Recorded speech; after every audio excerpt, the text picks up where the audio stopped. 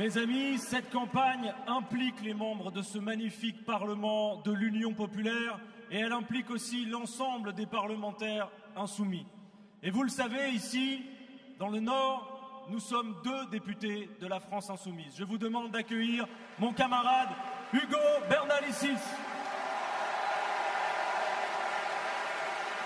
Ça va, Lille?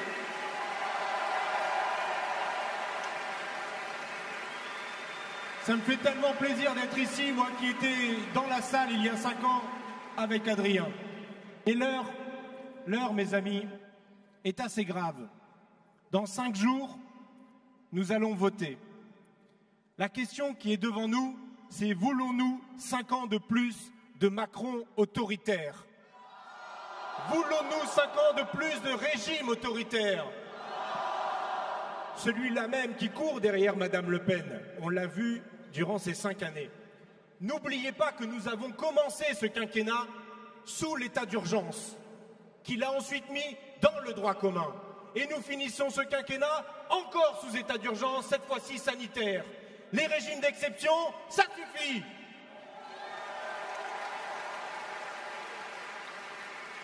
Ça suffit, ce mépris de la séparation des pouvoirs, ce mépris du pouvoir du Parlement, ce mépris des manifestantes et des manifestants, d'abord contre les ordonnances travail, contre les syndicalistes, ensuite contre les gilets jaunes, et puis contre les militants écologistes, mais aussi contre ceux du convoi de la liberté.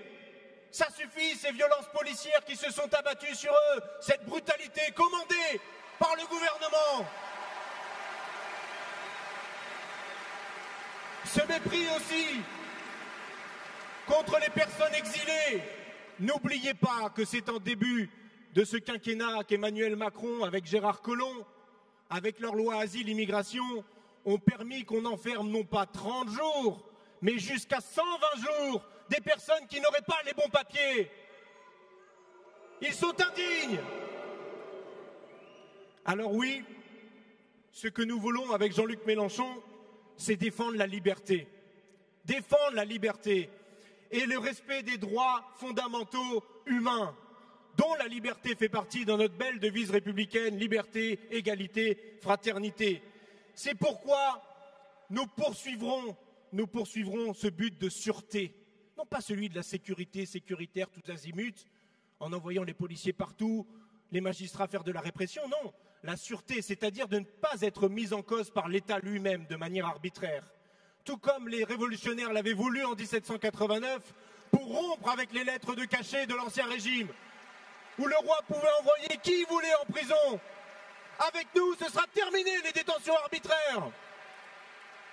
Nous voulons une justice garante des libertés, au service du peuple. Nous voulons une police de proximité républicaine, c'est-à-dire qui respecte la déontologie au pied et à la lettre. Fini les violences policières terminé. Oui, nous, avons avec nous, avec Jean-Luc Mélenchon, avec ce bulletin de vote, le candidat de la liberté. Parce que nous l'affirmons, la liberté, c'est la première des sécurités.